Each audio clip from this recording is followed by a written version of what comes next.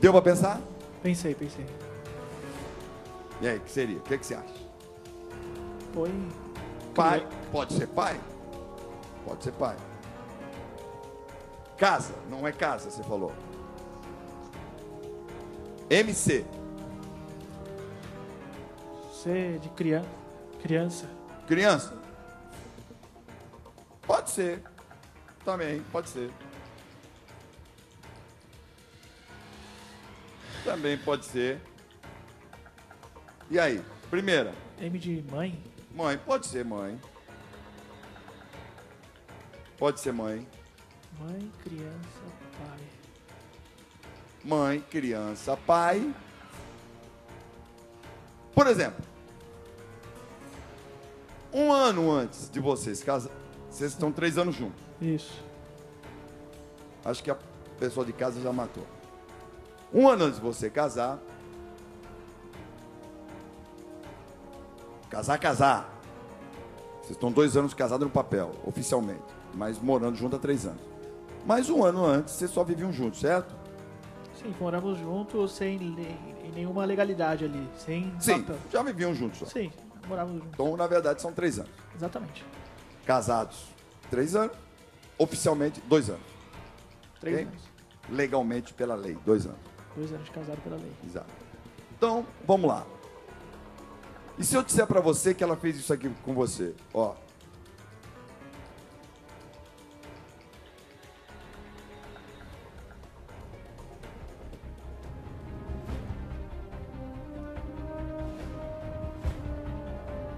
Isso aqui. Fez.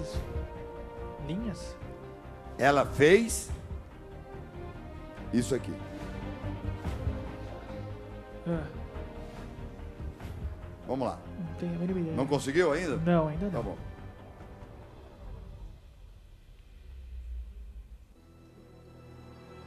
Antes de se casar. Antes. No Antes de qual- casar. Antes de eu conhecer ela, Antes de tudo. conhecer. Não. Já estavam casados, vivendo juntos, Ah, sim. mas não oficialmente. Aí casaram, não foi? Exatamente, eu casamos São dois anos que vocês contam dois isso anos. Dois anos. Dois anos. Do que você fez, dois anos. É isso? Isso. Então presta atenção.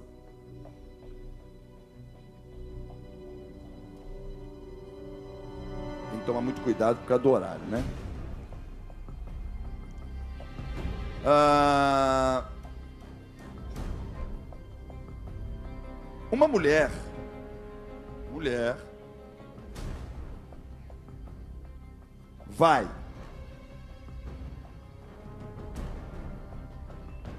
ser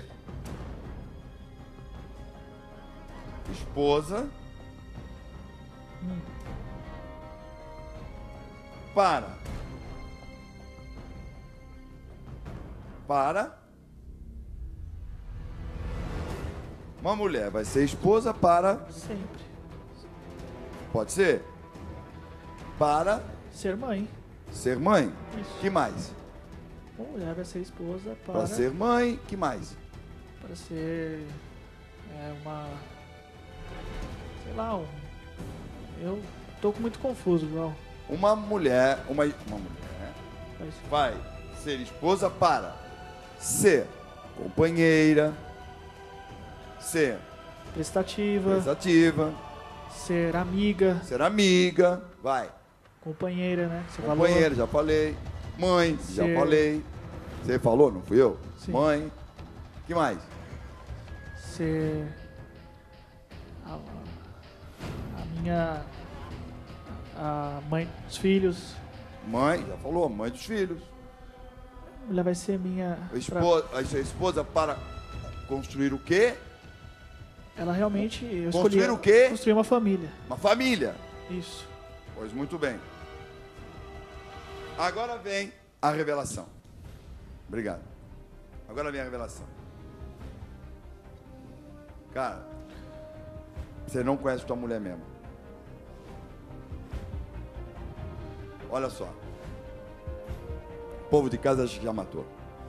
Atenção.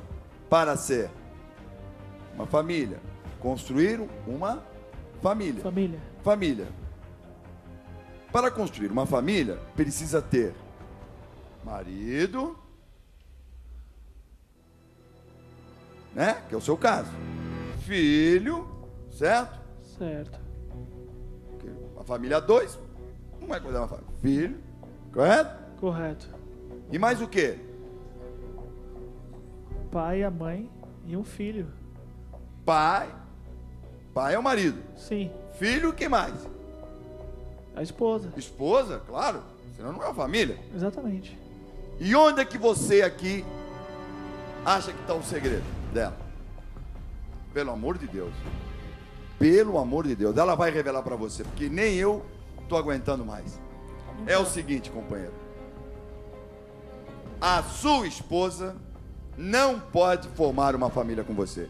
Conta por quê. Eu não posso ter filhos. Já faz dois anos, dois meses antes do nosso casamento, eu fui ao médico e descobri que eu não posso ter filho. Você não pode ter filho, Elaine, comigo. Não. Nem com ninguém. Você não pode ser mãe da, da- do, do que eu quero construir, uma família. É isso que você está me dizendo. Isso, por isso que eu escondi de você, porque eu sempre soube que seria o seu sonho. Ser pai.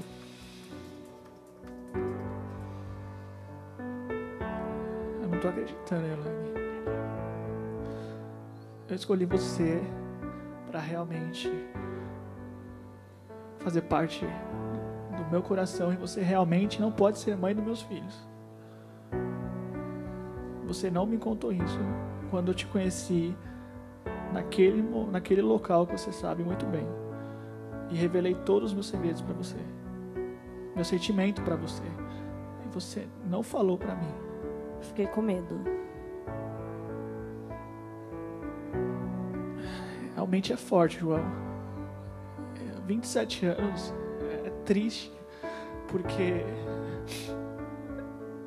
nós homens sonhamos sim, realmente, em ser pai, em pegar na mão do seu filho e jogar bola com ele e correr no parque. E você me falar isso aqui agora. Elaine, você tem a tamanha gravidade do que você está falando para mim? Você tem noção, realmente? Marilene, por que que você...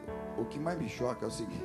Porque o problema de você não ser mãe é um problema sério, mas quando eu falei a terceira pessoa, que você vai ter que precisar... Se você realmente... Hoje a ciência, eu não posso falar disso nesse horário. Não sei até que ponto eu posso falar desse tema nesse horário. Eu só posso até a- dizer que você até há condições de ser, mas eu não posso explicar melhor por causa do horário. Mas nem às vezes dessa forma é possível, certo, doutora? Certo. Às Acho vezes que a- pessoa- nem, nem que a medicina ajude, as- tem não casos sei se vocês, que... as pessoas mais velhas aqui, estão entendendo. Nem sempre a medicina, mesmo tem, que eu não sei se posso comentar sobre esse tema nesse horário, mas uma coisa eu te garanto: tem às vezes até a medicina pode fazer esse sonho ser realizado, mas às vezes nem consegue. Tá entendendo? Entendi, João. Entendi. É uma coisa que você, aí por isso que a doutora está falando, que vocês precisam fazer uma terapia. Eu aconselho que você faça. Eu aconselho que você faça. Eu só digo uma coisa a você. Eu não tenho filhos. Eu tenho três casamentos. Eu não tenho filhos. Por opção. E a coisa que mais me sinto é não ter filhos. Mas por opção. Só vou dizer uma coisa: não se sinta culpada por isso. Você só deve se sentir culpada de uma única coisa: de não ter falado isso para ele. Agora, eu acho que milhões de mulheres devem estar passando o seu problema. Milhões. Então, mulheres, procure um médico, procure um psicólogo, procure uma saída, que eu acho que a ciência tem condições. Cada caso é um caso. Isso é muito sério. É muito, muito, muito, muito sério. Eu só acho outra coisa. Se você está pensando em casar, se você está pensando em ter uma vida a dois, diga para o seu companheiro, diga, diga ao seu companheiro. Diga ao seu companheiro ou diga à sua companheira, se for o seu caso. Pode dizer, doutora, pode dizer. Mesmo se a medicina não puder ajudar vocês, existe também a opção, uma opção com uma terapia de vocês dois fazendo, a opção de adotar uma criança. Também Ok. existe. Tá? Existe essa possibilidade de restabelecer a alegria na sua família. Que isso é muito importante. Eu só quero dizer uma coisa a você. Quero que você tenha a cabeça tranquila, apoie sua mulher, porque se ela fosse minha mulher, eu apoiaria. Se ela fosse a minha mulher, eu apoiaria. Exatamente. Eu, eu, eu acho que isso é para mim é muito importante. Eu acho que você deveria apoiar a sua mulher. Eu quero que você venha aqui, vem comigo, vem comigo. Tenha tranquilidade, tenha força, porque eu vou conversar ali rapidinho com a sua mulher. Vai lá, vai lá, vai lá.